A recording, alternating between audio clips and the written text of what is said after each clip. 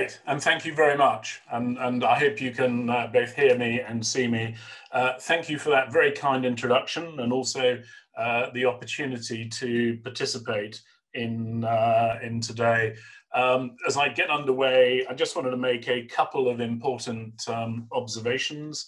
Uh, first of all, I'm very much speaking in a personal capacity today rather than behalf of any of the organizations that I, uh, I serve.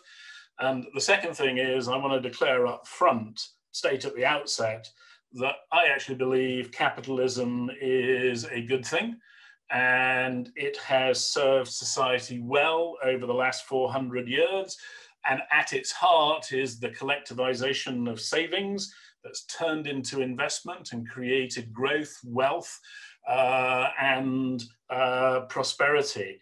Uh, so it has, I believe, um, promoted over very long periods uh, the, uh, the common good. Of course, the problem is progress has often been erratic, uh, as we're experiencing at, uh, at the moment. And for very long periods of time, we get uh, stuck in a particular paradigm and a particular way of doing things. And, and one of the things I think the original Scottish Enlightenment did was change that uh, perception. Now, one of the things that, you know, talking to, to GEFI, uh, I think that sparked this initial conversation is something on ESG has clicked over the course of the last uh, 18 months uh, and suddenly it's become part of the social uh, the social consciousness. Um, I've struggled as somebody who's been banging on about this for 20 or 30 years to explain why, and explaining why I think is less important than making sure we take advantage of the opportunity uh, that's ahead. And I think one of the things I want to do in the next 10 minutes or so is show that that opportunity is actually very, very significant and potentially, I believe, almost as significant as uh, the uh, the impact that the original enlightenment enlightenment had in society. So, whilst capitalism is a system that's promoted the common good, the way in which it's done uh, so through time has, has, has changed, as have the answers to a fundamental question that was posed by Keynes. How do you find a social system which is efficient both economically and morally?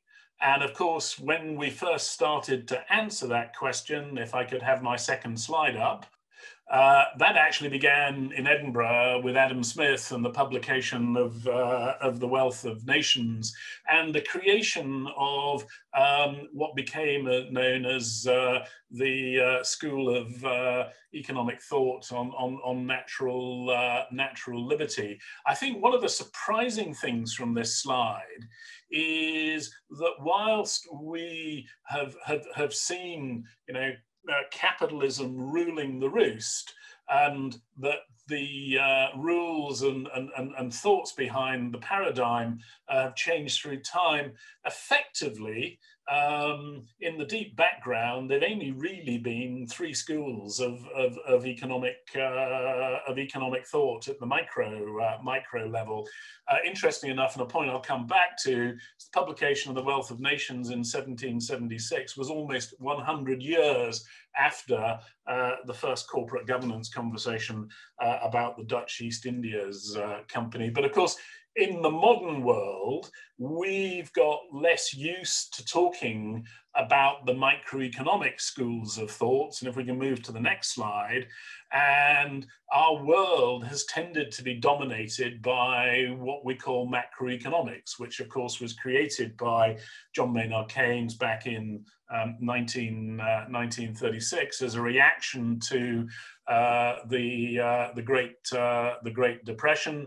That's morphed over time until we've had its uh, its the, the, the latest part of macro theory, uh, something that is rather attractively called dynamic stochastic general equilibrium uh, theory, which is something which dominates the way in which the Fed kind of thinks about uh, the world. But again, relatively few um, schools of, uh, of economic thought. What these paradigms have done, though, is you know, constrain and uh, uh, the way in which we think about things, and more importantly, create a particular policy paradigm for the way in which we address economic and uh, and social uh, social issues. We'll move to the next slide. One of the interesting things for uh, for the economy for the economists amongst you is that whilst uh, prosperity and living standards have improved immeasurably over uh, over the, the course of the last couple of hundred of years. Actually, average growth rates uh, haven't changed a great deal. So, so, so one of the things that these schools of economic thought have an impact on is the way in which wealth is distributed around uh, society. And of course, that is something that, that, that, that finance kind of lies at, uh, at the heart of. If we look at uh, a similar set of uh, data and move to the next slide, and and and, and think about uh, uh, macroeconomics and think about the output gap. So the way in which economies have have diverted from uh, from from from full employment uh,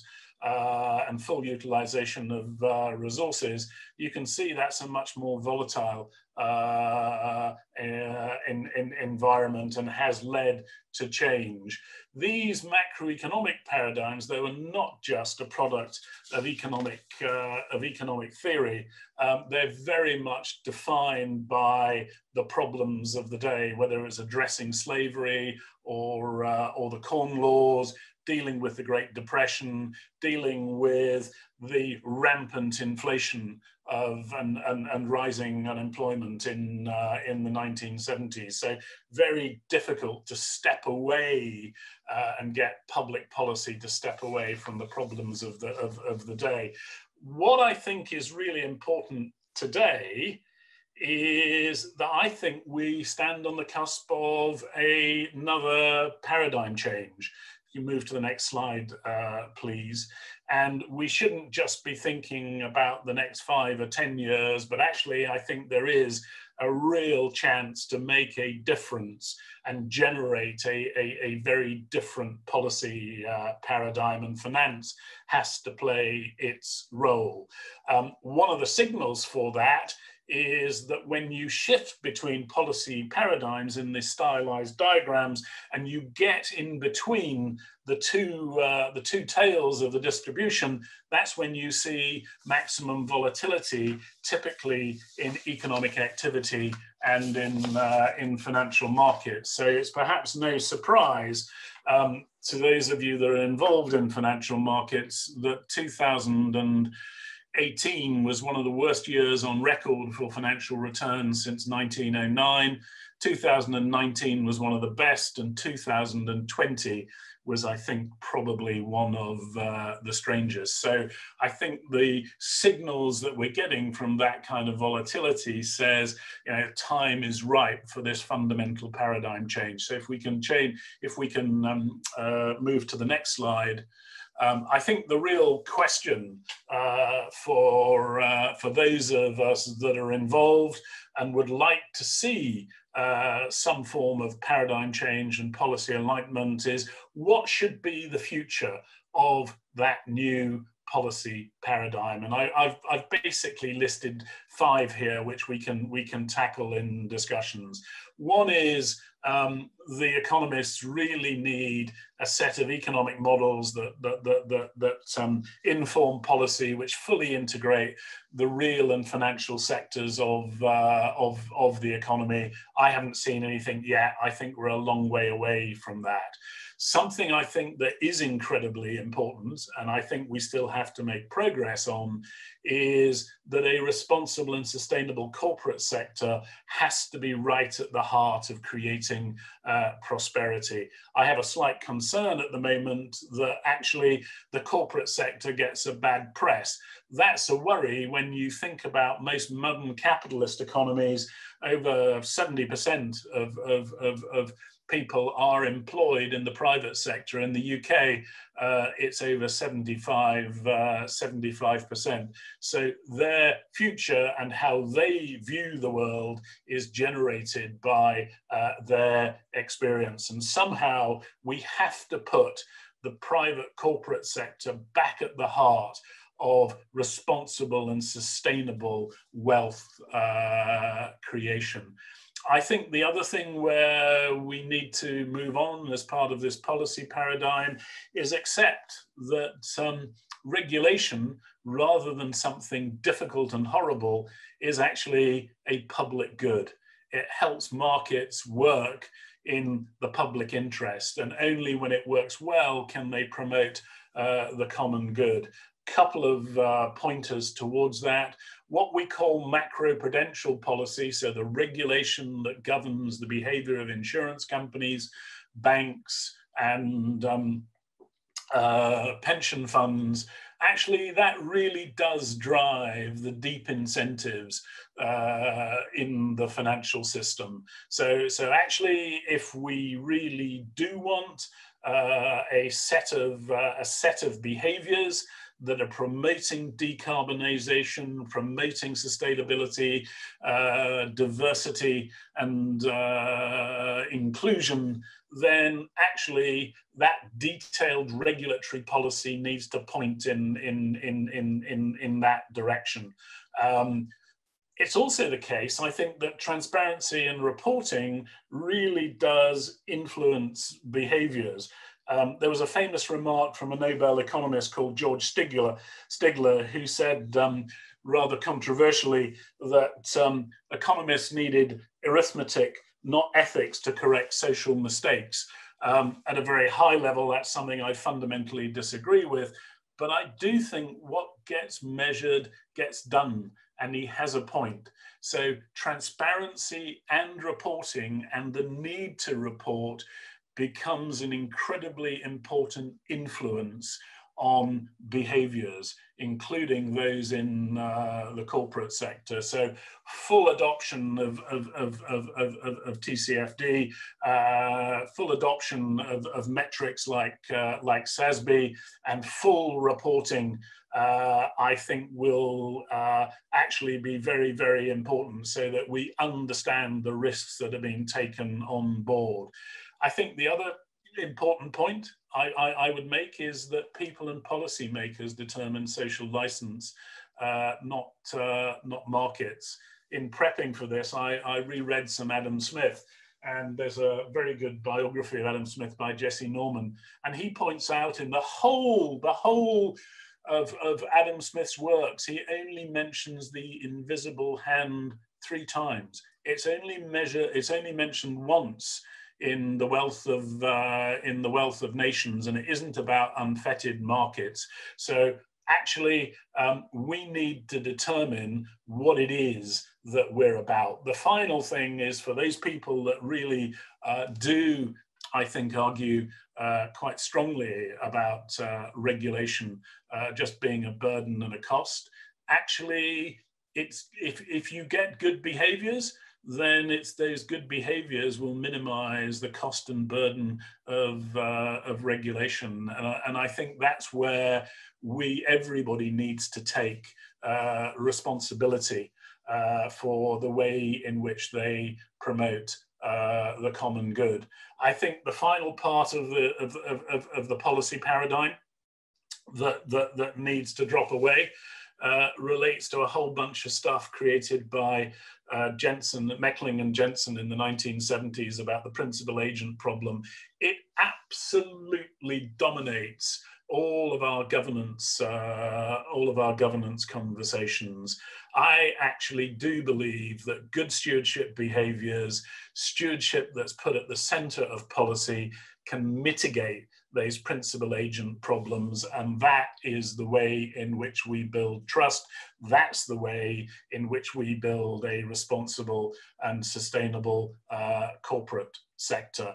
And given that finance is right at the heart of pointing collectivized savings at the financing uh, of, uh, uh, of investment and recovery, we have a huge opportunity as an industry to put substance into building back better.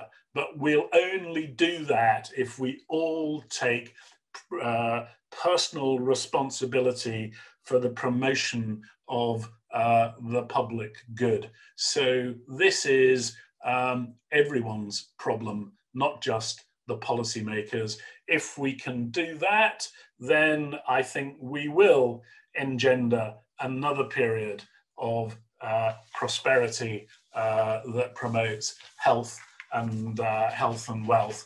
And if you want a short run example of why regulation is um, a, uh, a good thing and why capitalism, capitalism is a good thing, just think about Boris Johnson's remarks last night.